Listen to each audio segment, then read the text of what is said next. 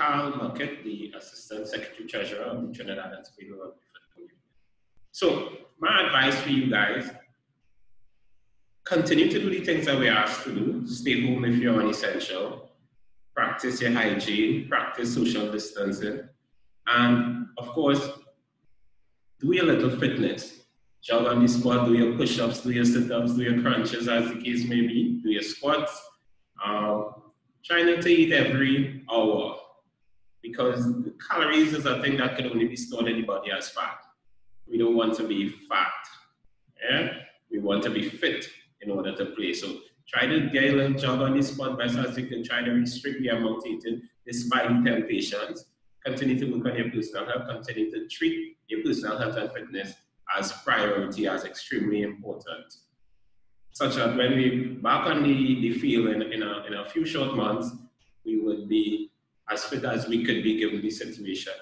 Um, we also have a lot of young people new to the sport, started the sport last year, this year, and a lot of you are impatient and you want to get back out there, you're missing rugby, you want to play.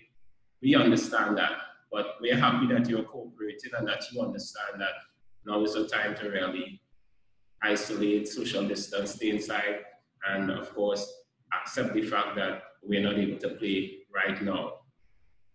In terms, we have several members of the fraternity who are members of the protective services or members of the essentials. We have the, the Defense Force rugby team, we have the police rugby team, we have members generally um, part of the fire service, the prison service, the um, medical field, the manufacturing field, the hardware field, the sanitation field, um, the clerical field, the customer service field.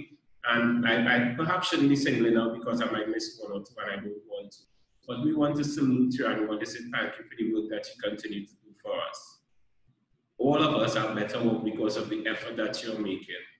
And we thank you for that. And by extension, all of Trinidad and Tobago, members of the essential services, whether or not you belong to the rugby fraternity, we salute you, we appreciate what you're doing for us. We are stronger together and we can't wait to come out and play, but we need to have the patience.